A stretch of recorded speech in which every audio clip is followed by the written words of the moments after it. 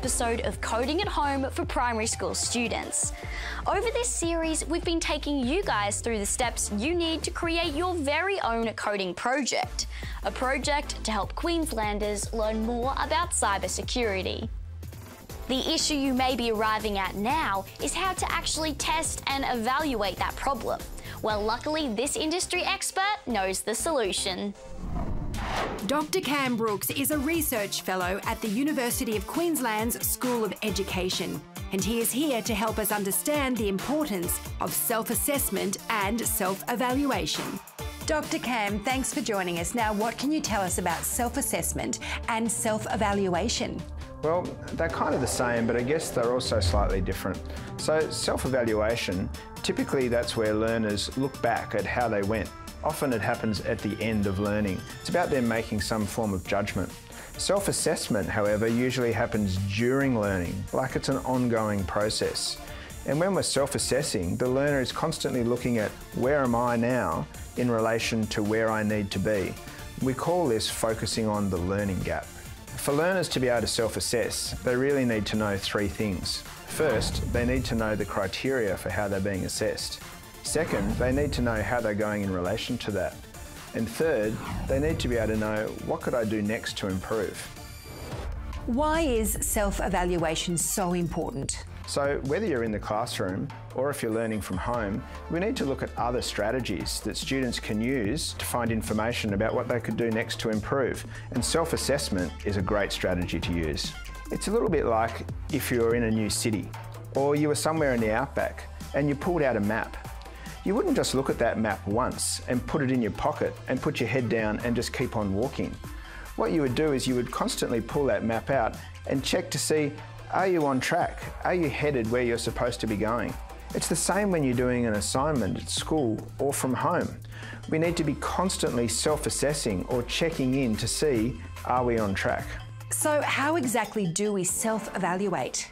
Well, first, you need to develop a good understanding of how you're being assessed. Those things I was talking about before, the success criteria. One way that you can do that is to look at a criteria sheet, but perhaps a better way is to actually look at models or examples of how did other people do something similar. To give you an example would be to look at perhaps someone like an artist. As they're developing their skills, they might look at other art or the work of other artists and they would critique that work. And that's what we need to be doing in the classroom. When we self-assess, students need to do that, and then they need to look, compare that back to their own work. How did I go in relation to those successful models? A great next step to help keep you on track is peer feedback. But you have to remember that peer feedback is a two-way process. It's also really powerful that you are giving feedback to that other student. It makes you look at their work through the eyes of a teacher. You're looking at their work in relation to how did they go compared to the success criteria. And then it's really important to come back to your own. Now you've looked at your friend's work, do you see your own work differently? Let's take a look at some of the criteria for the Premier's Coding Challenge and take some time to self evaluate. Okay, so one of the criteria is user input.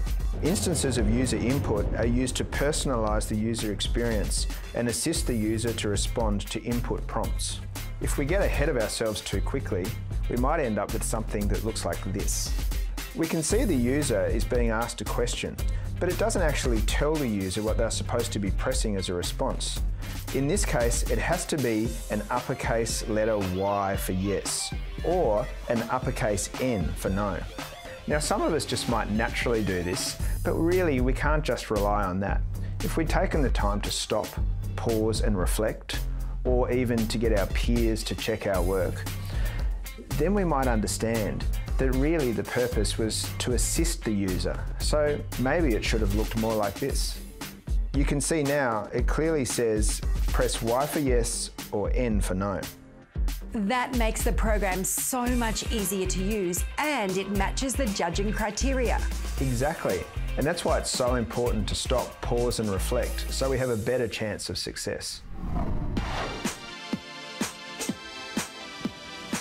And with that, the five stages of designing a digital solution to a problem have been covered. But what does a completed version look like? We've talked a lot about using coding to create a project that will make Queenslanders more aware of cybersecurity. And now we're going to play one. I bring you cyber safety around the world.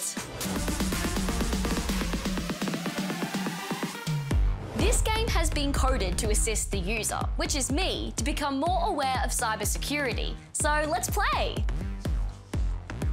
If you find a USB drive on the ground with no owner, should you take it to your home and plug it into your computer? A, yes, or B, no?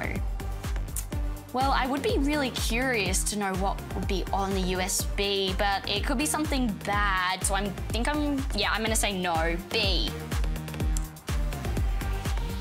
Correct, the answer is B. You should never plug in an unknown or untrusted USB drive. Question two.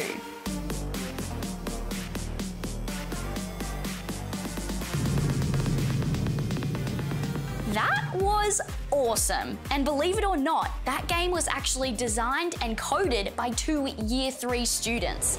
Their prototype happened to be the winner of the years three to four Scratch Tinker Pairs category of the Premier's Coding Challenge in 2019. They're in year four now, and I'm lucky enough to be actually speaking to both of them today to find out just how they did it. So let's say hello to Olivia and Jordan from Walkerston State School. Hey guys! Hi. How are you feeling? Good. You guys did such an amazing entry last year for the Premier's Coding Challenge. And I was wondering, how did you prepare to make something that awesome? Um, so our teacher, Miss Scott, last year, she planted the seed by showing us Scratch. Okay, so you learnt how to use Scratch and then you got in your teams. Did you brainstorm ideas? We had to brainstorm a lot of ideas because, um, so we had lots of markups and we had lots of bugs in our in our code. Yeah. But we figured it out and we made it basically perfect. And we tried and tried and we tried to make it better. But we said one day we're gonna do this and we're gonna finish it. And we did. Okay, and since then, have you guys made any other coding projects for yourself? Um, so I've been working on a Pong game that's really taking long. Oh, cool. So what's that about? So um, it's where you move like a block on the bottom, and there's a ball that um, ball that goes around the sides, and it bounces off the sides. And if it goes, if you miss the ball, you're out. And what about you, Olivia? Have you been working on some coding projects? Um, yes, I've been because when we went down to Brisbane, we got a little robot, and I and you got a new controller, so then you can play around with it. I've been doing codes for going right, left, forwards, and backwards. That is pretty cool, guys. And what else have you been doing to keep up your coding skills? Are you trying to learn more or are you just staying with the knowledge that you know now? I've been looking at JavaScript, and I've got robots to code at home. I've been uh, coding with my robot for getting up my skills so then I can do it this year. What do you think you love the most about coding? I like moving the block to the spot that it needs to go so the character moves. I love collaborative learning when you're brainstorming ideas for the for the game itself, but also just being together and learning together. And you both did such an amazing job with the challenge last year. What are your plans? What are your thoughts for this year? An animation that catch that talks that is funny and talks about cyber safety in a way that catches the audience attention. Mine is uh, making a globe and putting different types of countries on it, and when you click on it, you can see what happens in the cyber safety world of it. Would you want to do a job with coding? I'd like to make a famous app that can't be hacked and that is cyber safe. I would like to be a sports channel when I grow up, but um, I might not want to do it. So I might make a coding app for the person to do it and then the people copy it. Oh, so like a sports training app with coding. That's Yes. awesome. That's like combining all of your dream jobs. Well, guys, do you have any advice or tips or tricks for people who really want to do the challenge this year and maybe haven't done it before? Uh, my advice is to never give up and that coding is all about trial and error. So if you get it wrong, you can always retry. What about you, Olivia? Mine's being patient because you might not get it one shot. It took us a long time for us to do it and a lot of patience for us to do it. But we finally got there and we did it. That is really good to know, guys, because your end product, your entry was amazing. I can't wait to see what you guys do this year. Bye, guys. Bye. After that incredible success story, how could you not be ready to get coding? Who knows? We could be talking to you about your incredible prototype next year. If you're interested in submitting an entry to the Premier's Coding Challenge, you don't want to go anywhere.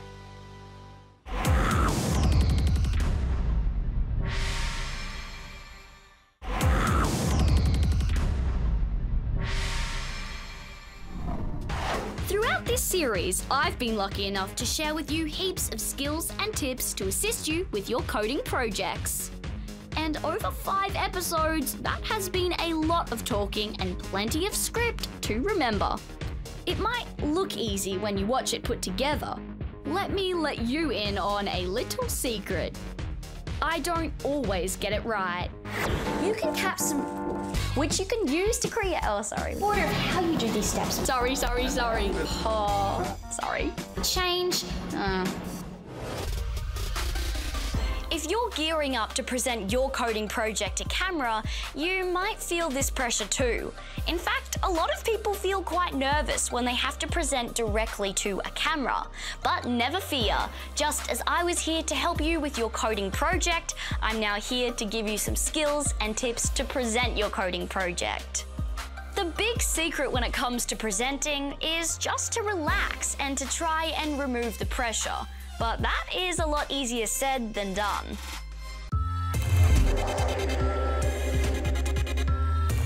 When we were discussing coding projects, one of the most important stages was the planning stage. Do you remember when we created an algorithm using a flow diagram? This was a great way to map out our chatbot before we got started. We could make any adjustments and fix any mistakes before we got into the actual coding. The same concept can be used when you're planning to present your project to camera. Instead of writing an algorithm, this time you're writing a script. It's still the same process though. It's still a series of steps. You are giving your audience a series of steps for how your project works, and you're also giving yourself a series of steps for what to say next. When you start out, you can think of it as a bit of an algorithm. Write a list of all of the things you want to cover. It might look a little something like this. Introduce yourself. Introduce your idea. Talk about who your audience is. Talk about how your project targets this audience. Talk about how your project informs your audience about cybersecurity. Once you have your steps, you can start writing your script. This can either be in great detail, writing out every single word you want to say, or it could be in dot points to remind you of what you kind of want to say and in what order. Just as you get feedback on your algorithm, you should try and get feedback on your scripts. Try saying it to a family member or friends. Do they understand how your idea is going to work? Or do they have some questions? Now, if they do have questions, then this means you should probably integrate that information back into your script to make things more clear. Once you have a full script or dot points you're happy with, it's all about practice, practice, practice before you film your presentation. Think about it like trying to beat a boss or a level in a video game. The more you do it, the better you become. Once you've got your script and you've practiced it as many times as you can, it's finally time to film your presentation. We need to try and make it the best it can possibly be. And to do this, I want you to think about two things the video and the audio. I actually am lucky enough to have a whole crew to help me out with this. Say hi, guys. You don't actually need a whole crew, you just need to be able to think like one. So let's start off with filming. You can film on absolutely anything that has video capabilities. So you could film on an actual camera, or you could film on a computer with its camera, or you could even film on a phone with its camera. You're filming your entry on a phone, you still need to remember that it will be viewed on a TV screen or on a computer screen. This means that we always need to hold our phone horizontally so that our shot is in landscape. To check if you're doing this right, see if your image is a rectangle that is laying down. If you're presenting to camera and the shot is all wobbly and going everywhere, this can be really distracting to audience members and it can take away from what you're saying. If you've got someone who's holding the camera, get them to stand very, very still. Here, a tripod can help, or you could even prop your camera up on a bookshelf and secure it with some books. Something that we often forget about when we're recording ourselves is the audio or the sound of the recording. It's really important to record somewhere quiet as any background noise could really take away from what you're saying. Uh, okay, yeah, this is not going to work. All right, if there is a lot of background noise, we can either wait for it to die down or we can just find a different spot away from all of this.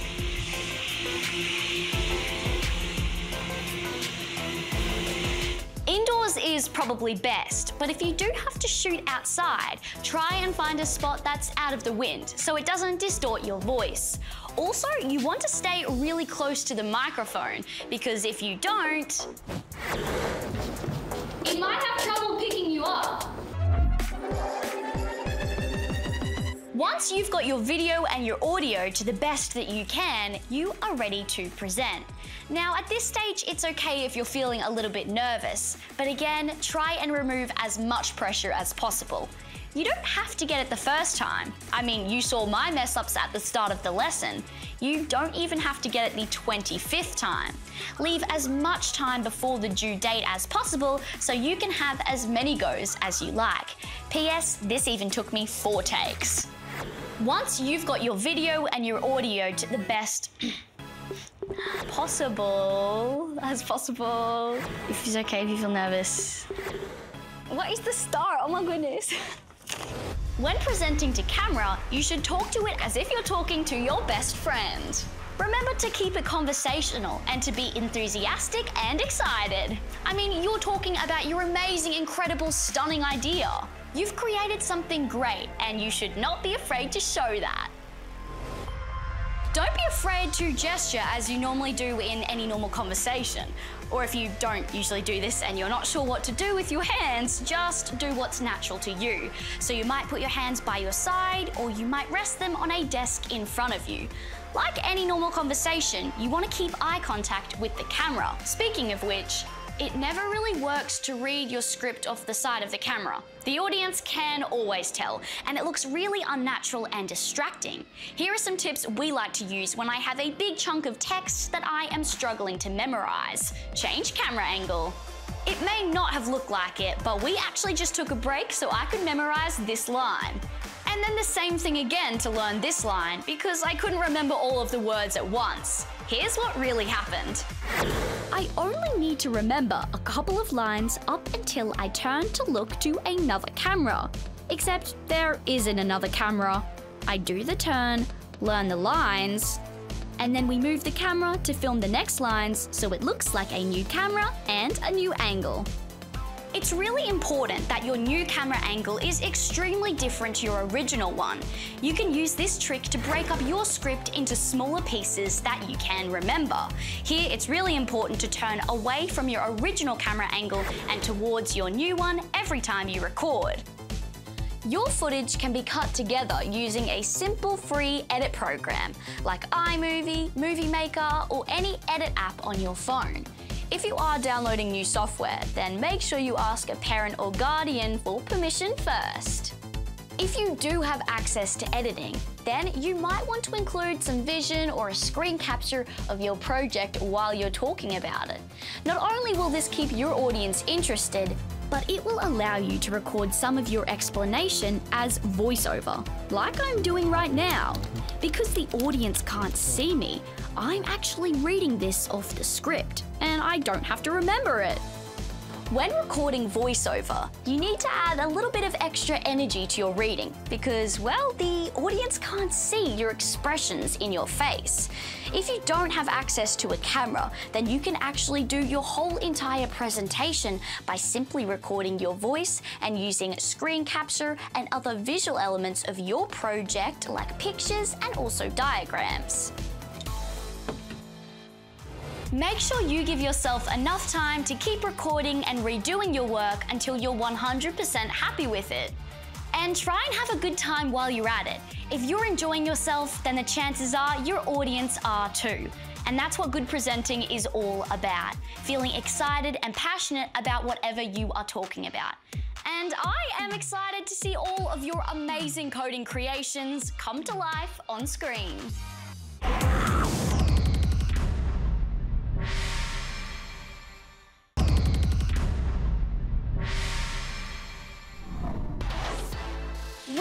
Queenslanders need to become more safe and secure online by improving their cybersecurity, and the Premier's Coding Challenge is a great way for you to develop all of those skills as well as helping out the community. Now that you know how to make an entry, here are my top six tips on how to make an awesome one. Firstly, follow the advice you've seen on Coding at Home. You can rewatch all of the episodes online. 2. Go to the challenge website and read the relevant criteria for your band level, either years 3 to 4 or years 5 to 6, and highlight all the coding elements that you need to include, and check you have them in your entry. 3. Make sure you have considered interactivity and making your code hard to break. Think about making it fun and easy to use. 4. Being concise is a skill. Make sure your video explains your entry and stays within the time limit of 90 seconds. Videos that go over time are not accepted. 5. Your entry must be about cybersecurity. It should educate the user and provide tips with links for more information. 6. If you aren't sure about what any of the criteria mean, then ask your teacher or a parent or a guardian to help you. Or even email coding.competition at qed.qld.gov.au. The STEM team will be happy to point you in the right direction. And you can always look at the winning entries from previous years online. Well, that's it from us for now, but it has been awesome sharing coding with you guys. Where to next? Well, that one is up to you. Get coding and show the world what you can do. Your ideas might even change it. I'm Leah, and we've been coding at home.